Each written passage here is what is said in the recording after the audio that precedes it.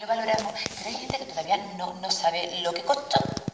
Y no solamente lo que costó de aquí, que la costó.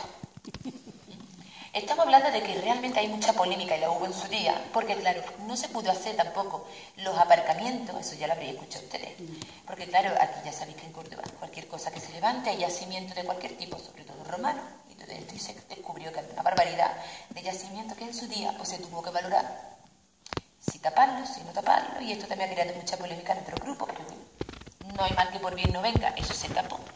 No se pudo construir, como estamos diciendo, los aparcamientos subterráneos, pero bueno, a día de hoy mm, por lo menos hemos podido tener este edificio que tenemos aquí, del 1873. Estamos hablando de finales del siglo XIX, ¿de acuerdo?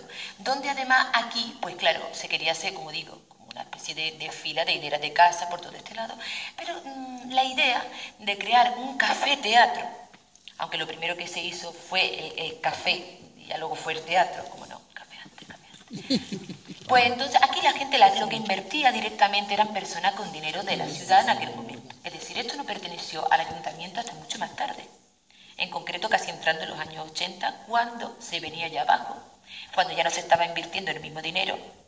Y cuando esa asociación, porque se hizo como una especie de asociación de grandes banqueros y gente de dinero de la época, de grandes almacenes, gente con mucho dinero, dejaron de invertir tanto como se invertía. Esto se venía abajo, de hecho se cerró varios años, y en ese momento ahí se especuló realmente con el suelo porque había unos grandes almacenes, que así viene referido en el libro, unos grandes almacenes donde decía que ahí estaban queriendo ya comprar justo, aprovechando el declive del Gran Teatro, querían aprovechar ellos también y poner su grande almacén.